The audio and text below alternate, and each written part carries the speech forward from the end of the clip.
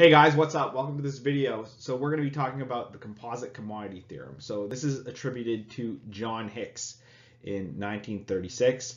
Um, and what the theorem says, well, it's not really a mathematical theorem, but if a group of prices move in parallel to each other, then the corresponding group of commodities can be viewed as a composite commodity.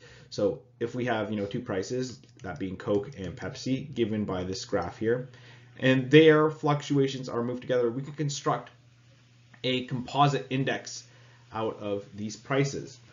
Um, there are much deeper ways of going and understanding this, but I'm going to just go and give the explanation of Deaton and Muellbauer as discussed in this book here, Economics and Consumer Behavior, and uh, that of Michael Carter in his 1991 paper, which I think are the most basic ways of really going and understanding uh, the material. So for Deaton and Muellbauer, um, they go and they use the following. They define P1, P2, and P3 to be prices of three goods at time t.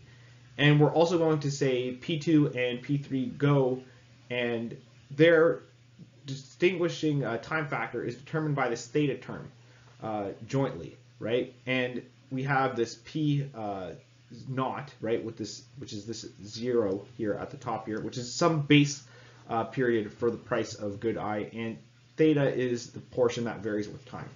We note that um, for any period, it follows that the marginal rate of substitution, right, is equal to our price ratio. This just goes and knocks out this time term. So we're going to always be having uh, our optimality conditions unchanged, right? And we can only need to focus on the allocation between P one and X1 and this other composite commodity here. So really what this means is that we don't have to analyze uh, each one of these goods individually, right? We can just go and focus on their composite index instead. So Carter in his 1991 paper, he considers these preferences more directly, right? So this really lies on the fact that um, we need to go and keep these optimality conditions uh, unchanged, right? So we have to go and have some sort of separability of preferences as well. That's just, you know, my guess over here. And he says that by going and solving for this maximum of P naught, we're also solving for the maximum of these two problems down here, meaning that we're maximizing uh, with respect to u of 1 and plus this v term, which embodies our composite uh, utility, and P2 here, which is only focusing on the allocation of these goods in our composite index. So we can really go and solve for a lot of information. So the way we prove this is by letting um, x star be equal to x1, x2, and x3, and x hat be equal to x1 hat, x2 hat, and x3 hat, and those are going to be the solution to P naught, right? That being with reference to our X star, and P1 and P2 respectively, this being with reference to our X hat. Now we have to note that these optimums must solve our first order conditions of P naught and P1 and P2 respectively. So let's go and note some of the key first order conditions that we're going to be using. So we have our first order conditions for P naught, right? I didn't list all of them here and P1 and P2. Since we're living in the world of maximums, we note that delta is going to be equal to mu here, meaning that we are going to go and have that these two conditions up here, they're going to be the same, right? And we're also going to sub this result from P2 of 3, right? And we're going to go and plug that into this guy here. Once we do that, we get the same sort of first order conditions as we get in our original problem here.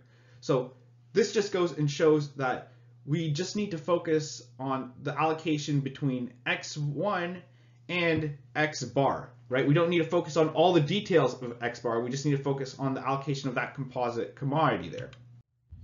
So in terms of going and uh, thinking about this from a graphical perspective, a perspective that is readily accessible to anyone with an intermediate microeconomics education. Um, we have this two-sided graph. Um, we have x1 on the x-axis here, right, on the right-hand side, with a x bar being our composite index at the top. Um, if we were to go and see, say, a increase, right, or a fall in both these prices of x2 and x3, because remember, um, these prices are, you know, they move in parallel to each other. So we're going to go and only see uh, this up and down sort of motion, as in we can only see this sort of parallel motion here. We should end up going and seeing, right, let's go pick a little bit of a different color, I'll pick a light green here. We should go and see something along this line here. It's just a matter of connecting your dots uh, here, and we get a, another allocation right, right here, as well as some allocation that is given right here. So all this is saying is that we can go and think about the allocation between x1 and x bar and x2 and x3 completely separately from each other. Now, I just want to go and iterate this if it hasn't been clear already, that the composite commodity theorem demonstrates that how we can use a index or economic aggregates as a stand-in for cleaner data and still be able to solve important problems in consumer theory.